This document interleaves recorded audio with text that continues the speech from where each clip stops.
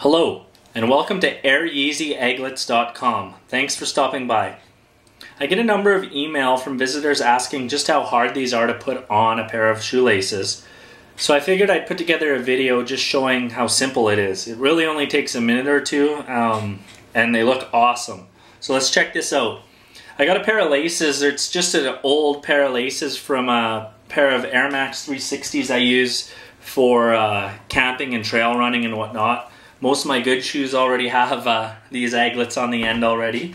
So I figured um, I'd throw a pair on here just to show you just how simple it is. So the aglets come with a, a small screw piece here.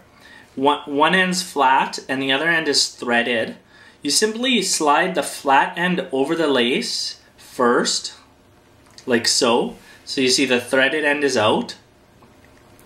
Over the end of your lace, and you want to get it past the plastic aglet a little bit so that you can clamp down. Not too not oops sorry I'll get back in the frame here.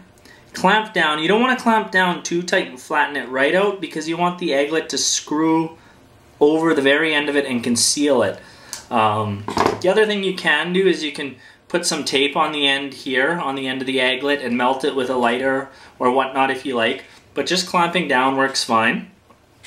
So once you've clamped the screw piece on, you simply take your aglet and slide it over and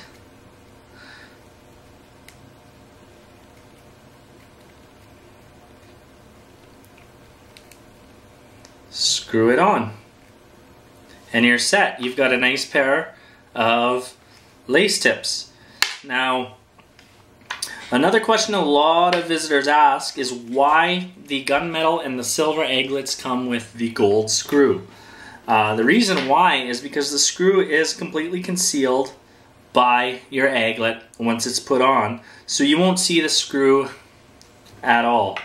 So, to, sh to show you an example, I'll take the gunmetal aglet here and slide it over.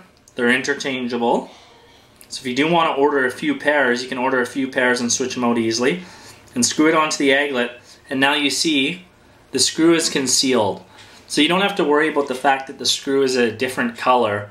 Uh, that's just done because these are plated.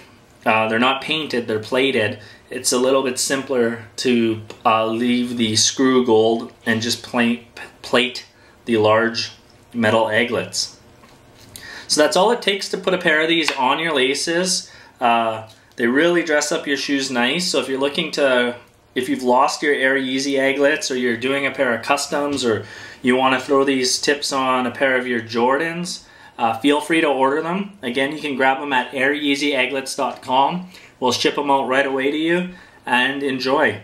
If you have any further questions, please feel free to email us or leave a comment below and we'll do our best to answer them for you. Thanks for stopping by and we'll see you soon.